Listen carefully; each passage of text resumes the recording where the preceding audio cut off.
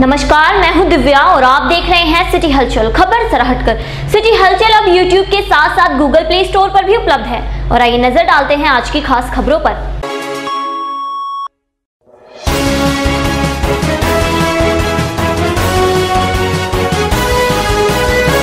जनपद मुजफ्फरनगर के चरथावल ब्लॉक का सीडीओ अर्चना वर्मा ने औचक निरीक्षण किया, जिसमें कर्मचारियों की उपस्थिति व अनुपस्थिति, पेंशन संबंधी, अकाउंट संबंधी कार्यालय में भ्रमण किया। क्षेत्र पंचायत के अभिलेखों का भी औचक निरीक्षण किया गया। वही सीडीओ अर्चना वर्मा ने निर्देश दिया की सभी अपना दफ्तर अच्छा रखें। जितने भी ब्लॉक प्रांगण में बिल्डिंग है, उन पर कार्यालय का नाम लिखवाया जाए और अपने अपने दफ्तर में मेज पर नेम प्लेट प्रॉपर तरीके से लगवाएँ। वहीं सीडीओ अर्चना वर्मा ने बताया कि सरकारी शौचालयों के लिए एक टीम बनाई गई है, जो गाँव दर गाँव करेगी शौचालयों का निरीक्षण। निरीक्षण के समय समस्त स्टाफ मौजूद रहा। वहीं सीडीओ अर्चना वर्मा ने सीएससी चरथावल पर भी छापेमारी की, जहाँ कर्मचारियों में हड़कम मचा रहा। चरथावल सीएससी में कर्मचारियों की अनुपस्थिति व उपस्थिति का औचक निरीक्षण किया गया, जिसमें कई कर्मचारी अनुपस्थित मिले। सीडीओ अर्चना वर्मा ने डॉक्टर सतीश कुमार से पूछा कि कर्मचारियों की अनुपस्थिति क्यों है, जिसको लेकर डॉक्टर सतीश कुमार कुछ भी नहीं कह पाए। वहीं जच्चा बच्चा केंद्र का भी निरीक्षण किया गया, जहाँ पर एक महिला डिलीवरी के लिए भर्ती की गई थी और जच्चा बच्चा केंद्र में कोई भी पंखा नहीं चल रहा था। जब डॉक्टर से सीडीओ अर्चना वर्मा ने पूछा कि जच्चा बच्चा केंद्र में पंखे क्यों नहीं चल रहे तो डॉक्टर ने बताया कि लाइट नहीं है और जनरेटर खराब है। तो सीडीओ अर्चना वर्मा ने जनरेटर को स्टार्ट करवाया तो जनरेटर स्टार्ट हो गया और डॉक्टर सतीश कुमार का झूठ पकड़ा गया। सीडीओ अर्चना वर्मा ने डॉक्टर को जमकर हड़काया। वहीं सीडीओ अर्चना वर्मा ने डॉक्टर सतीश को सफ़ाई देने के निर्देश दिए।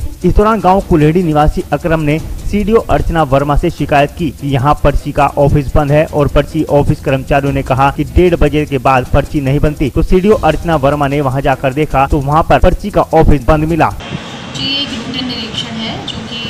ब्लॉक का निरीक्षण करने का प्रोविज़न है। इसलिए मैंने पहले भी दो ब्लॉक्स के निरीक्षण किए थे और आज उसी क्रम में आज चौथावल ब्लॉक का निरीक्षण किया गया है। जिसमें जो अभी योजनाएँ हैं उनकी समीक्षा की गई है। साथ में जो हमारे कार्यालय की स्थिति है उसकी भी समीक्षा की गई है। मैडम अभी कुछ दिन पहले यहाँ पे कुछ महिलाओं ने दलित महिलाओं ने उत्तर किया था। इस चीज़ का कि लेटरिन के पैसे नहीं आ रहे हैं मैडम। इस बारे में आपको इस बारे में भी समीक्षा की गई है। चूँकि एडीओ पंचायत अभी छुट्टी पे थे तो बहुत विस्तार में तो समीक्षा नहीं हो पाई परंतु मैं आपको बताना चाहूँगी कि इस बारे में ऑलरेडी मैं एक कमेटी का गठन कर चुकी हूँ।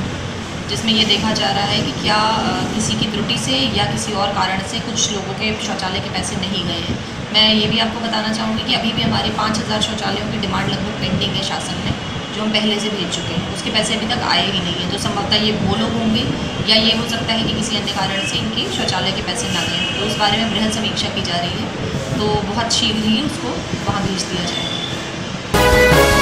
जनपद सहारनपुर के रामपुर मनिहारन स्थित उप जिलाधिकारी कार्यालय पर भारतीय किसान यूनियन के पदाधिकारी और कार्यकर्ताओं ने धरना प्रदर्शन किया, जहाँ किसानों ने बड़ी विद्युत दरों सहित किसानों की विभिन्न समस्याओं के समाधान की मांग की। इस दौरान एक ज्ञापन उप जिलाधिकारी रामपुर मनिहारन को सौंपा गया। वही मांगे पूरी न होने पर उग्र आंदोलन की चेतावनी भी दी गई किसानों ने मुख्य रूप ऐसी बिजली बिल को लेकर किसानों के साथ किए जा रहे उत्पीड़न की समस्या को रखा।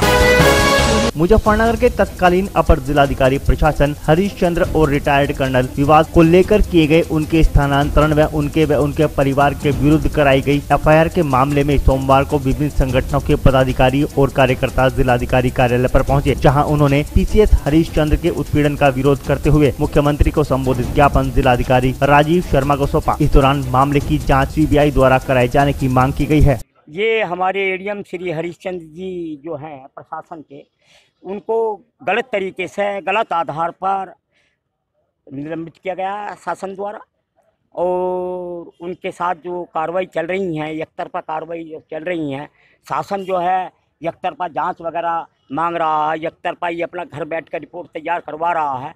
उसके खिलाफ जो है ये हमारा ज्ञापन है राष्ट्रपति जी को और मुख्यमंत्री जी को। हम मांग ये करते हैं कि उनको तत्काल बहाल किया जाए, बाद में जो है न्यायिक जाँच हो। बजाय इसके कि वो आ, वो पड़े रहें सस्पेंड पढ़ रहे हैं वो बात गलत होगी जो है। जिस तरीके से जो है ये कार्रवाई हो रही है उसको रोका जा जाए ज्ञापन आज हमने एडीएम ई हरीश चंद्रा जी के खिलाफ जो षड्यंत्र रचा जा रहा है उनको समर्थन देने के लिए हमने ई ज्ञापन दिया है। हमारी मांग है जो उन पर झूठा मुकदमा लगाया गया है उनकी बीवी पर बच्चों पर वो मुकदमा और उनको सस्पेंड किया गया है। एक तरफा कार्रवाई हो रही है जिस मेजर जिस मेजर ने कर्नल ने मुकदमा उन पर कायम कराया है, उसके न तो किस तरह की चोट है, ना किस तरह वो कहीं घायल है। और वो दो, ये बताया गया है कि दो, तकरीबन चार साल से उनका उनकी बीवी का वीडियो वायरल हुआ है। तकरीबन चार साल से उनका उत्पीड़न कर रहा था। कौन गैरतमंद इंसान कोई भी शोहर इस तरह बर्दाश्त कर लेगा कि उसकी बीवी के साथ कोई बदसलूकी करे और वो इस तरह उसे बर्दाश्त करे? उनकी बीवी का स्टेटमेंट मैंने सुना है कि वो कह रही हैं उसमें कि मुझे मुस्तकिल परेशान करता था, मैं अपने शोहर से मैंने बताया। तो जब उस शोहर से बताया तो ज़ाहिर सी बात है गुस्सा भी आता है आदमी को।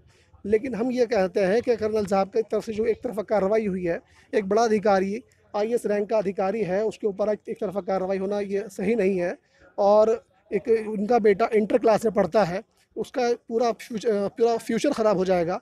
उसको, उसमें इसका, इस पर निष्पक्ष जाँच हो और हम इस पर मांग करते हैं कि सीबीआई जाँच इसमें हो और जो भी उनके, क्योंकि दो साल का कार्यकाल बड़ा यहाँ पर अच्छा रहा है और गरीब लोग उनसे बड़ी उम्मीद रखते हैं, उन्होंने बहुत अच्छा कार्यकाल रहा है, सब लोग उससे संतुष्ट हैं।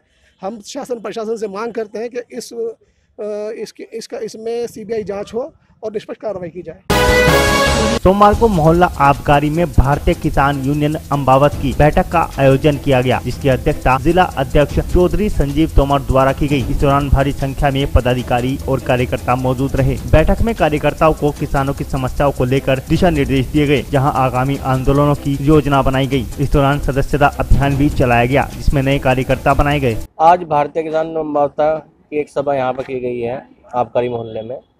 मेन मुद्दा यहाँ पर ये रखा गया है कि बिजली विभाग, जो बिजली विभाग है, वो बहुत ज़्यादा लूट का काम किसानों के साथ कर रहा है।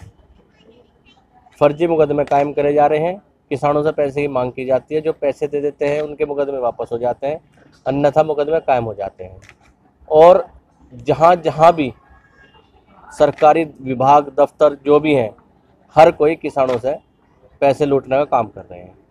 तो इस सभा के बाद हमने यहाँ दर्जनों लोगों को सदस्यता ग्रहण कराई है और हमारे रजत मेहरोल को नगर उपाध्यक्ष की कमान सौंपी गई है। और भारतीय किसान यूनियन अम्बावता ऐलान करती है, अगर यह ठगी और लूट का काम सरकारी दफ्तरों में चलता रहा, बिजली विभाग में चलता रहा तो बहुत जल्द भारतीय किसान यूनियन मोर्चा खोल के सड़कों पर आंदोलन करेगी।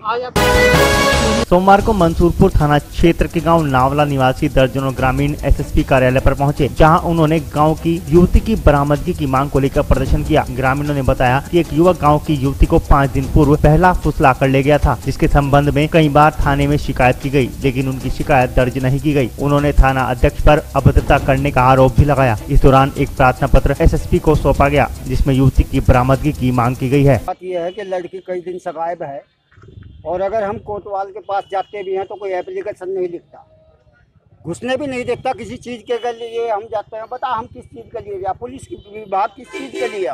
जब अगर हमारी सुनवाई ना हुई तो हम क्या करेंगे? अब कार्यालय पे आए ज़िले पे आए अब देखो क्या करते हैं। कब से लड़की लापता लड़की लापता पाँच दिन हो गए पाँच तेईस तारीख। तेईस तारीख से लापता है। बाईस तारीख से अब अपहरण कर रखा चली कहाँ गई, किस तरीके से? अब ये तो ये तो पुलिस बताओगी या ये कागजों के आधार से बत- बताया? जनपद सहारनपुर के रामपुर मनिहारन में सोमवार को माँ रानी की शोभा यात्रा का आयोजन किया गया, जिसमें अनेकों बैंड और झांकियाँ आकर्षण का केंद्र बनी रही। वहीं यह शोभा यात्रा कस्बे के मुख्य मार्गों से होकर निकाली गई। प्रत्येक वर्ष माँ रानी की शोभा यात्रा कस्बे में धूमधाम के साथ निकाली जाती है। शोभा यात्रा में सुरक्षा व्यवस्था के पुख्ता इंतज़ाम किए गए थे, जिसमें सीओ जतेंद्र सिंह नागर व थाना अध्यक्ष एस के राणा मौजूद रहे। और आज के अंक में बस इतना ही। कल फिर से हाजिर होते हैं कुछ और नई ताज़ा खबरों के साथ। तक देखते रहिए सिटी हलचल। खबर सराहट कर।